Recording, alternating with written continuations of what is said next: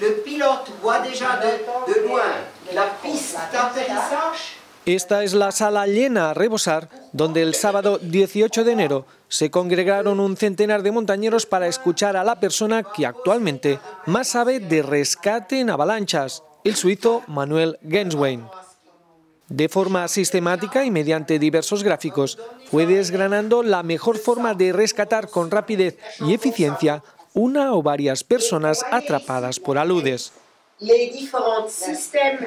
El curso, que era abierto al público en general, no solo se trataba de una charla, sino sobre todo de un trabajo práctico. Por eso al día siguiente, coincidiendo con el Día Mundial de la Nieve, en el aparcamiento de Orri de la estación de Baqueira Beret, todos los participantes, entre los que se encontraban grandes alpinistas, preparaban el material de esquí de montaña. Somos gente que hacemos mucha actividad y el hecho de perder un día a refrescar todo lo que teóricamente ya sabes, pues es súper importante. al final con los nuevos ARBAS de tres antenas vas muy rápido haciendo la búsqueda. Eh, se tiene que trabajar evidentemente el nivel de estrés, pero donde se tarda más tiempo es en el paleo. Y si el paleo no está bien organizado, al final ahí se pueden ir los minutos que, harán la diferencia entre sacar a la persona viva o, o muerta. Mientras los participantes esperaban en el aparcamiento, un grupo reducido de personas preparaba todo el operativo situado a un centenar de metros fuera de las pistas de esquí. Quien organizaba este curso era el ACNA, el ACNA es la Asociación para el Conocimiento de la, de la Nieve y los Saludes, actualmente tiene 300 socios y uh, lo que hacemos aquí en este, en este curso de Mountain Safety es que todos los instructores de, de ACNA tengan uh, estos estándares y puedan impartir eh, la parte de rescate en los cursos de avalanchas con la máxima calidad posible. Y aquí tenemos al experto mundial en tema de rescates en avalanchas cargado de material. Today we're going to learn the Catalan, Spanish and Aranese people everything about avalanche rescue. We could have needed some more snow, but we'll do the best out of it of what we have.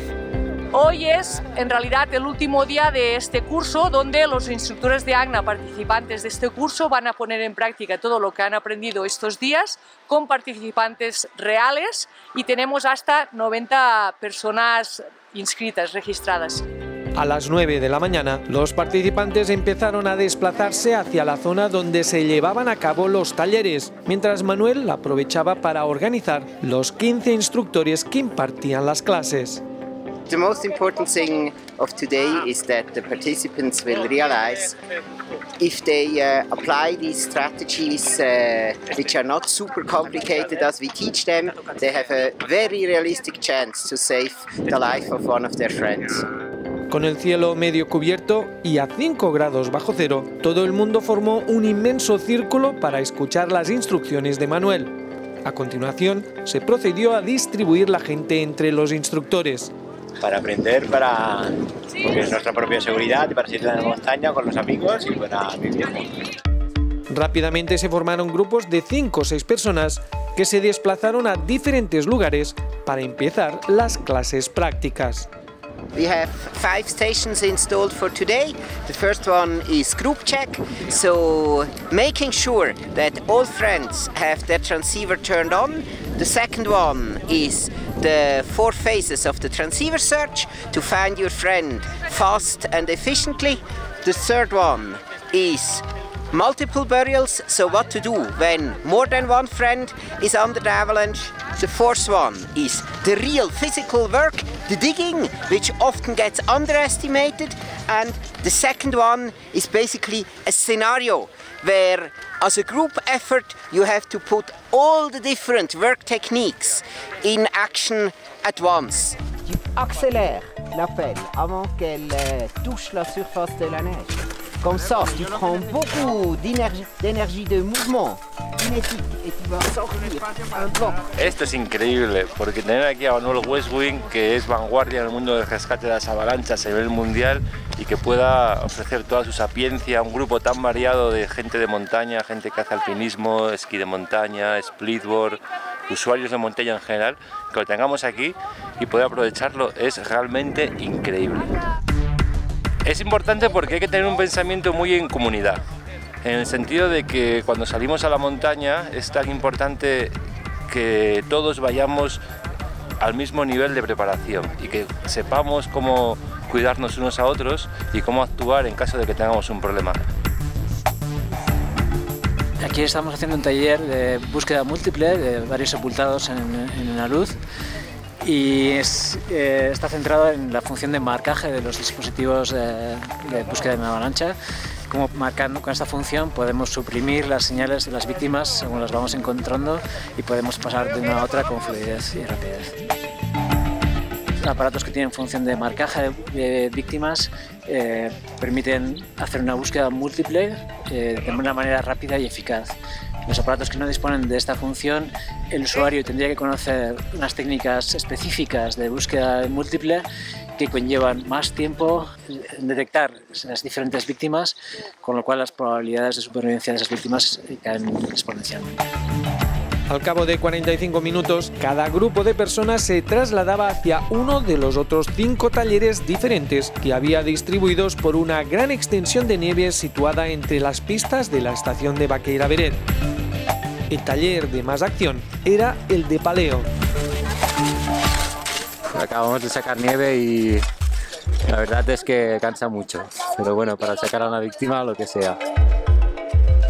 Venimos de San Sebastián, de Orereta, de un pueblo próximo y bueno, hemos venido dos personas y de momento todo va genial. Todo es interesante, desde las nociones que teníamos hasta ahora y lo que estamos aprendiendo, ver los errores que cometíamos hasta ahora y la forma de ejecutar las acciones a la hora de enfrentarte a una avalancha.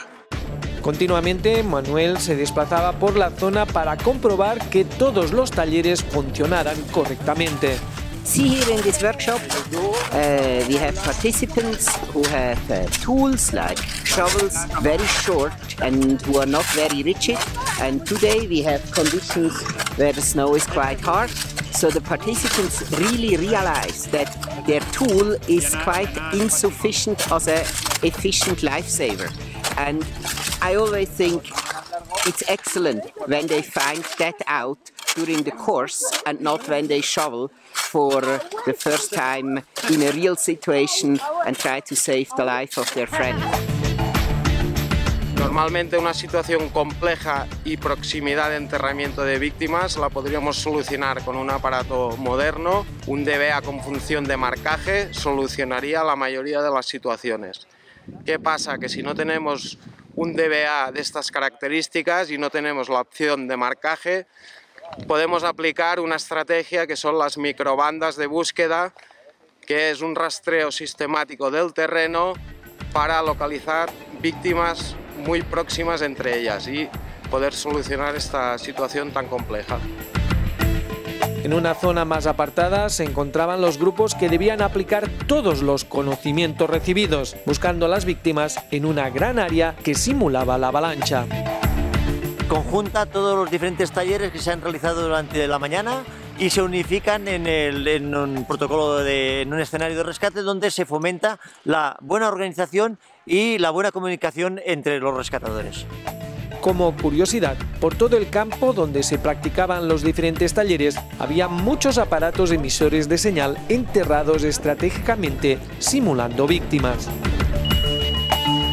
Esto es un Shercha, que es un aparato que permite hacer un campo de entrenamiento de rescate de víctimas de aludes. Podemos tener hasta 16 balizas enterradas que simulan 16 víctimas.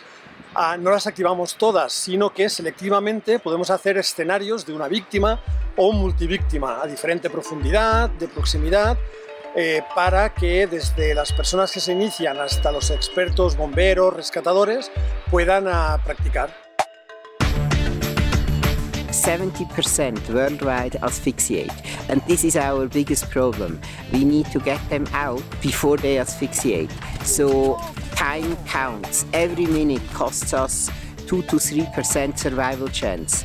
And therefore, the rules are the same for everyone. And the rules are really focusing on the most essential so that with a small set of rules, which uh, everyone can remember by heart, you are an effective lifesaver.